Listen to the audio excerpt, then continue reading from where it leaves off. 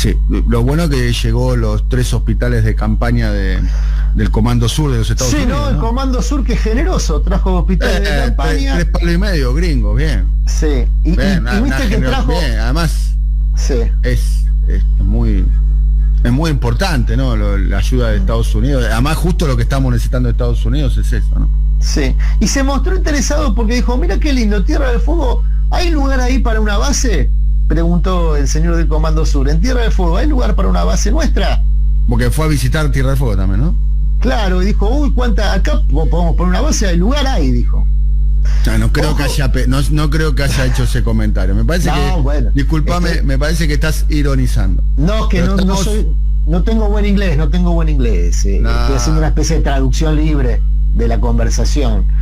Eh, pero, pero sí se mostró interesado en, poner una base. Dijo, bueno, si, si, China tiene una base, si Rusia está negociando la posibilidad de también armar una base con fines distintos, ¿no? no con fines militares, sino con fines científicos en la Argentina, eh, ¿por qué nosotros no? Y alguien podría haberle recordado ahí al amigo, eh, ay, no, no, retuve el nombre, para que ya te digo.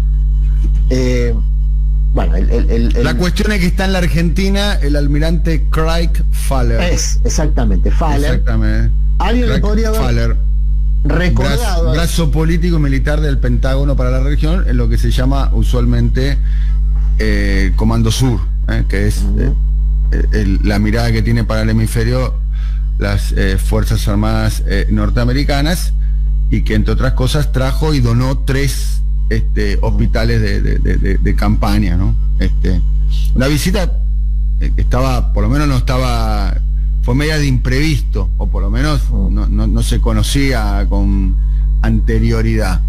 Eh, los medios afines a los intereses de los Estados Unidos en Argentina, que son muchos, ¿no? Es más, eh, hay más medios afines a los intereses de la Argentina en Argentina este, a los intereses de Estados Unidos en Argentina que a los intereses de Argentina en Argentina. ¿A vos te parece? Bueno, puede ser, sí. Ay, ay, ay. Y sí. Ah, sí agarrás la Nación, agarrás Infobae, agarrás Clarín. Y te das cuenta de que son muy afines a los, a los intereses de Estados Unidos en Argentina. Bueno, a veces, hasta, sí. a veces hasta más afines eh, que a los, a los intereses de Argentina.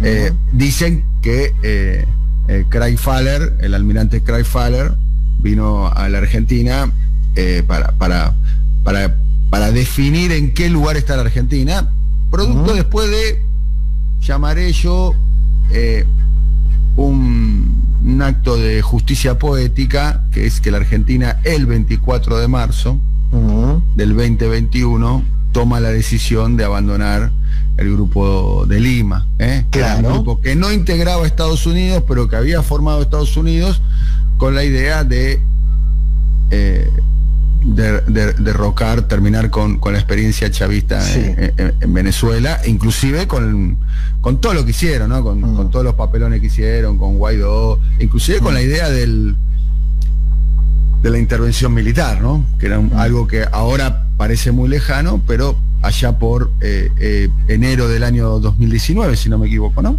Fue en enero del año 2019, eh, estaba muy, muy vigente. Bueno, la cuestión es que vino acá, yo vi las fotos de los de los hospitales de campaña de que donó los Estados Unidos, no me parecen gran cosa, pero bueno, mm. yo, no, no, no bueno, yo no entiendo de diplomacia, así que no. Bueno, no, me tomen a mí como una referencia, pero con todo respeto, me parece que poca cosa. Bueno, vos pensás que no sé, viste, es como evolucionado. Antes un país, como un país que no que no puede tener nada, es como somos un país, viste, bueno, che, vamos a darle a esto a algo que, que son unos que no tienen nada, un hospital de campaña, no sé. Calculo yo que o lo podemos, si necesitamos un hospital de campaña, lo podemos comprar, ¿no? Tres, palos y medio tenemos, ¿no? No, claro. Bueno, antes eran espejitos de colores, Dani, hemos evolucionado de los espejitos de colores a, los hospitales de campaña. El gesto es el mismo. Conste que yo no soy anti-norteamericano, ¿eh? te quiero aclarar. No, ¿eh? no, no, no, Hay muchos, viste, ya están mandando los mensajes, me cuentan. Eh, vas a decir como la señora, como la doctora que dijo, pero más que norteamericano si el lugar favorito de Néstor era de A mí no es Disney, pero a mí no soy anti-norteamericano, estoy muy influido por parte de su cultura, digamos, por su cine, por su literatura, por su música. No, pero una eh, cosa una cosa es eso y otra cosa es eh, evaluar desde el punto de vista de la perspectiva nacional las relaciones internacionales, ¿no? Hablando de esto eh, y de los medios, Dani, vos mencionabas los medios sensibles a, a los intereses estadounidenses, van a tener un mes medio agitado porque eh, está llegando en los próximos días Juan González. Juan González tiene origen colombiano, pero es director del Consejo de Seguridad para el Hemisferio Occidental de la Casa Blanca. Es decir, es eh, de, la Cancillería estadounidense la persona más relevante en relación con América Latina. Va a estar llegando a la Argentina con una agenda que, por un lado, incluye la negociación con el Fondo Monetario, pero vos mencionabas el tema del Grupo de Lima, bueno, también está el tema del Grupo de Lima en esta, en esta agenda. ¿eh? Va a tener reuniones, de hecho, obviamente, con canciller Solá, pero, pero en la agenda hay reuniones con Martín Guzmán, por ejemplo, eh, y se va a, reunir con el secretario de, especial de secretario de Asuntos Estratégicos de la Presidencia, eh, Gustavo Vélez. Una persona de mucha confianza del presidente de la nación, muy cercano a la mesa chica de política del presidente. Uno de los visitantes, eh, me podría, podemos decir de que eh, de los actuales funcionarios el que más visitó a Macri durante su gobierno, ¿no? Claro. Eso no sale, no sale, eso no sale, no, no es Operación Olivo, eso no, no, no. Gustavo Vélez eh, es de los que más visitó, decís vos. No tengo. ¿Usted, ¿Usted no lo sabe eso no? No, no, no, no tengo la. qué raro que usted no lo sepa. No, entiendo, entiendo que hay alguna, hay alguna reunión, sí, pero no. Eh, ¿Una reunión, dos reuniones o tres reuniones? No, no sé, sabes que no tengo la presión. A ver, vamos, a hacer vamos a hacer la cuenta. ¿Cuántas veces visitó usted a Olivo durante el gobierno Macri? Usted, cero. cero, cero. Igual si lo llamaban iba, me imagino, ¿no? Sí, he ido a cubrir conferencia de prensa, Está bien, pero imagínese que llama Mauricio Macri, mañana suena el teléfono y Mauricio Macri le dice, quiero hablar con usted, Adrián Murano. Y usted va, yo voy, ¿cómo no voy a ir? ¿Sabes con quién quiero hablar? ¿Con quién? ¿Sabes con quién me gustaría hablar? Es más, te voy a decir algo. A ver. Lo voy a decir en voz alta como si estuviéramos solos caminando por un parque. Peligroso. Me da miedo. es peligroso. Porque no, a ver, a ver adelante, adelante. peligroso. Hay que, hay que abrir, hay que, hay que abrir el corazón. Quiero hablar con María Eugenia Vidal. Voy a hacer un intento, tengo un amigo que la conoce. La voy a, voy a llamar a mi amigo. Mi amigo, no, no, nos queremos mucho con, mi amigo. Bien. Él es radical, viste, bueno, pero el mm. problema tenemos todo. Claro. ¿Quién no tiene problema? ¿Vos tenés, bueno, vos? No, tengo, tengo, tengo, sí. Bueno. Bueno, pero, pero está Voy a llamar para, para hablar con María Eugenia Vidal. Tengo ganas de hablar con María Eugenia Vidal y si usted me permite, si, vos me dejás, Adrián. Sí, adelante.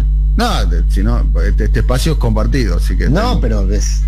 Este espacio, vos venís de tu, espacio y este es compartido, este es un bien ganancial. bien ganancial, sí. Claro, sería. Pero, pero igual te adelanto el, el beneplácito.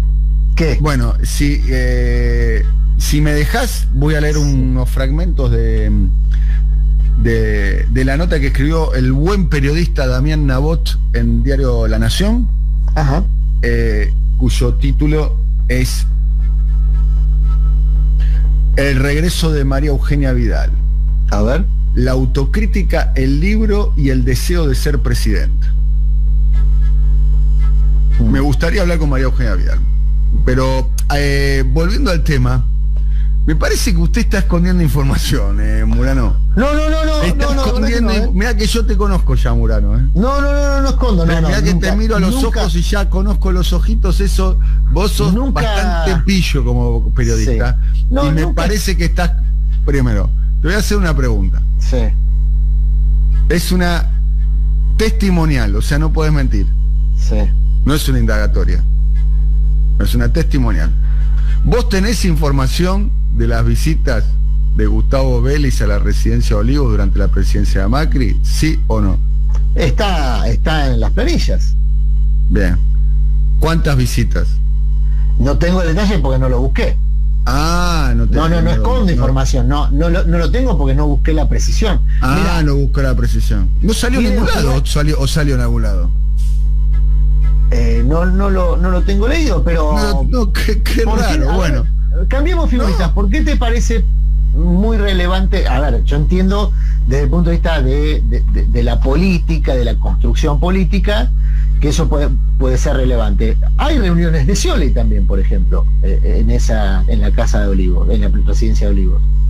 Este, y el propio Scioli lo, explicó, explicó que bueno, fue a reunirse por cuestiones eh, institucionales, el presidente debería consultarlo sobre cuestiones relativas a la provincia de Buenos Aires, este, y aparte de algún vínculo personal histórico lo, explicó Scioli. O sea, gente que fue por Levos hay un montón, imagínate, son cuatro años, siete mil planillas, siete mil registros, hay un montón.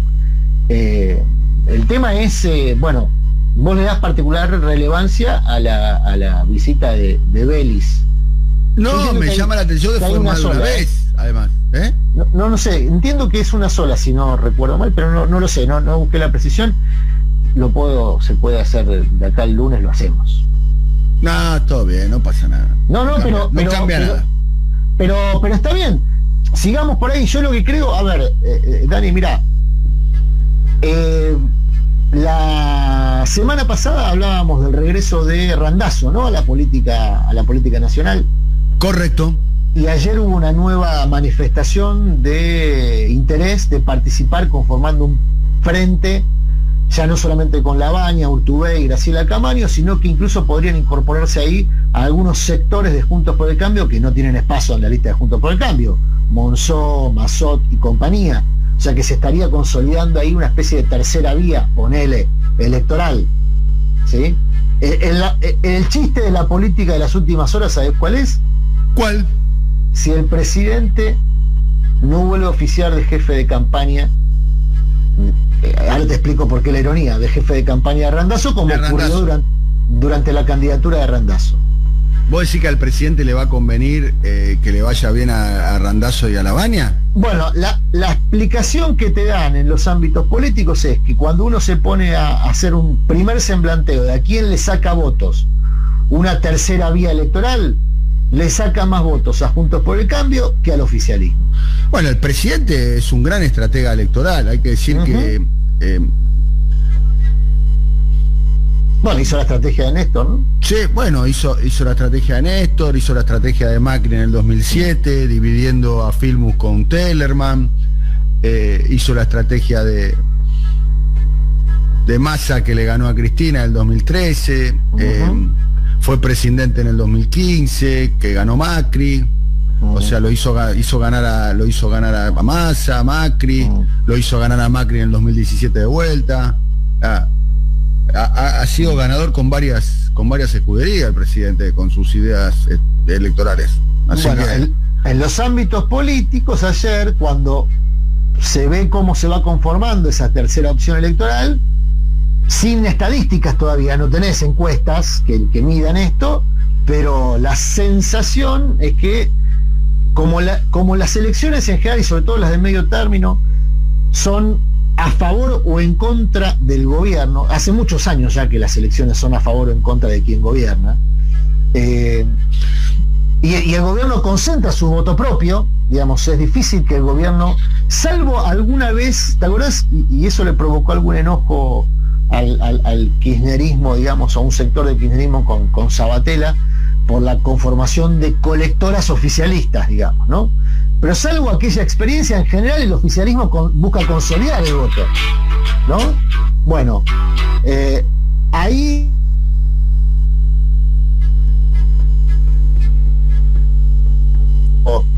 de, ese colectivo panperonista, si se quiere, es dividir, dividiría el voto de la oposición más que del oficialismo.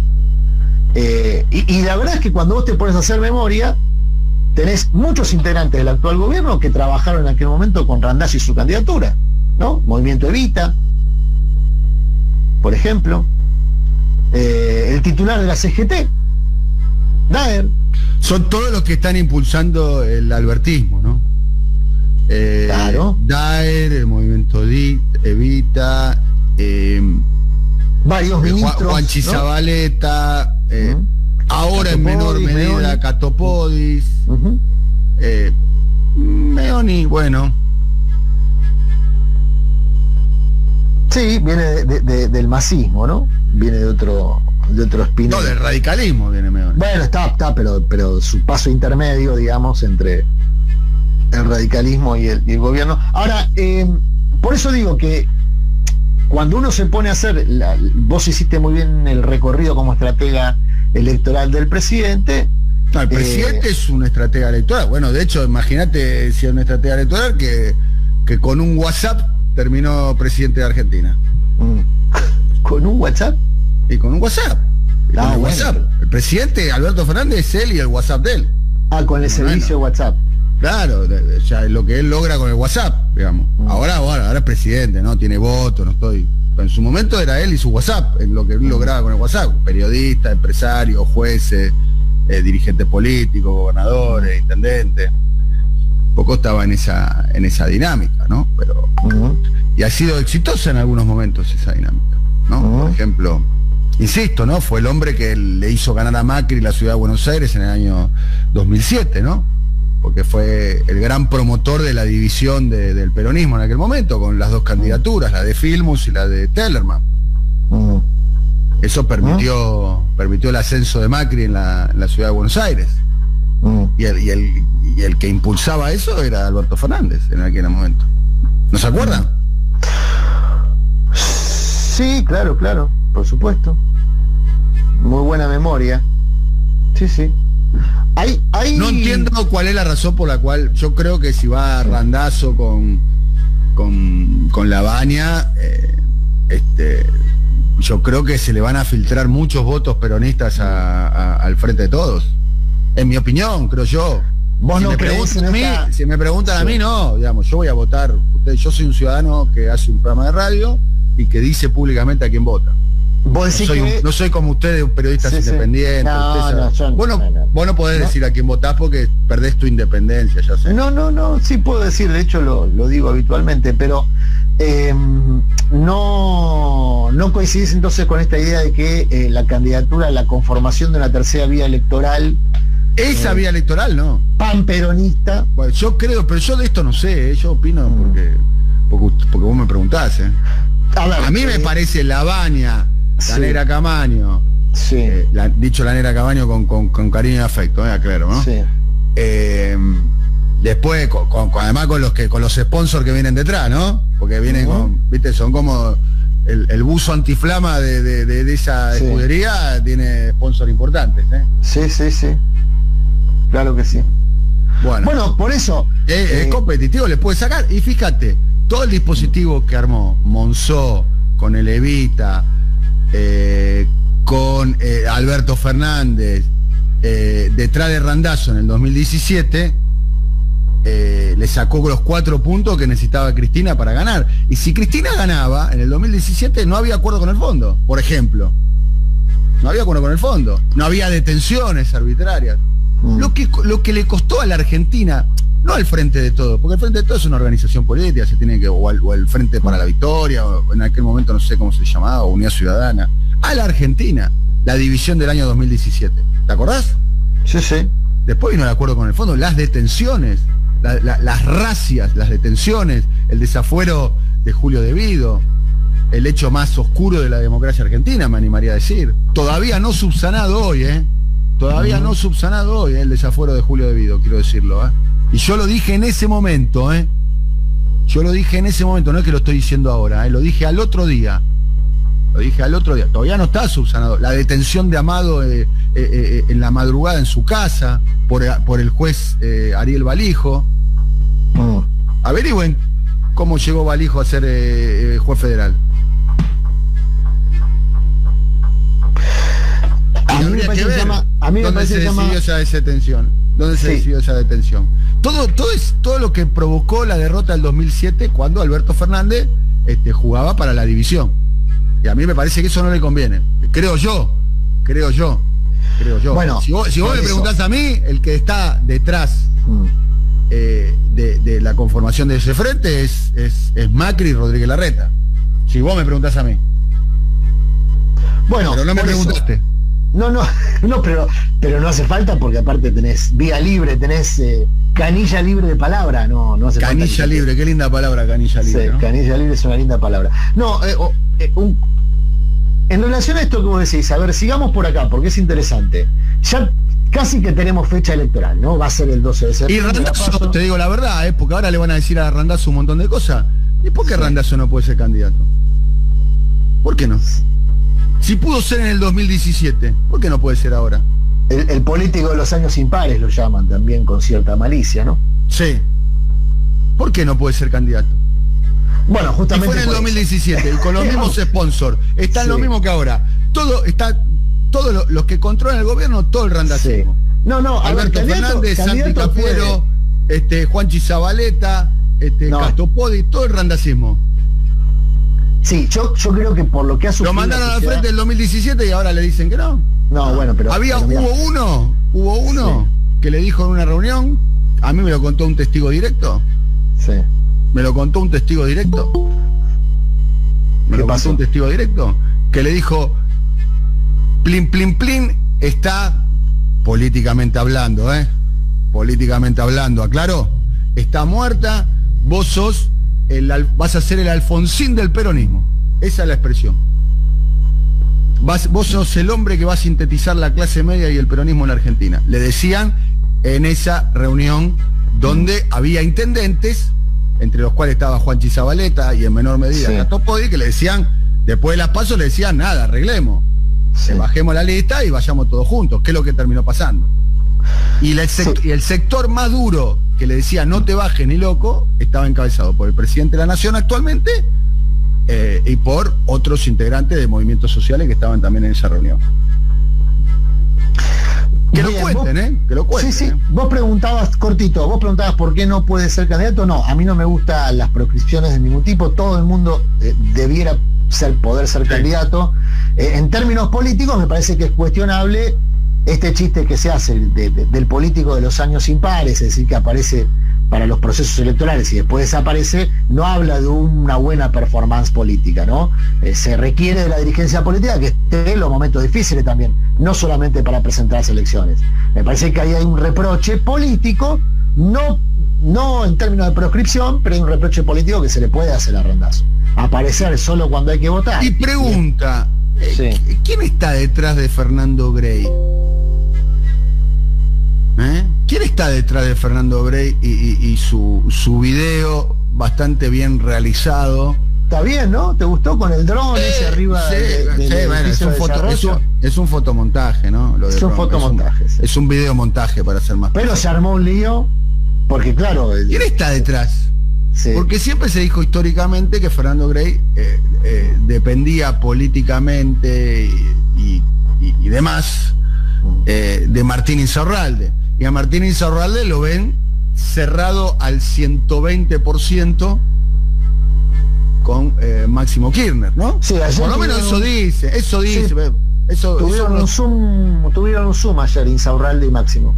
Muy bien. Ah, tiene más que un zoom, te quiero decir. No, no, pero ayer, ayer, justo ayer, por esto que decís. Bueno, controlan la Cámara de Diputados de la provincia de Buenos Aires juntos en, el, en un tándem sí. eh, eh, Insaurralde y, Máximo Kirchner, entre otras cosas.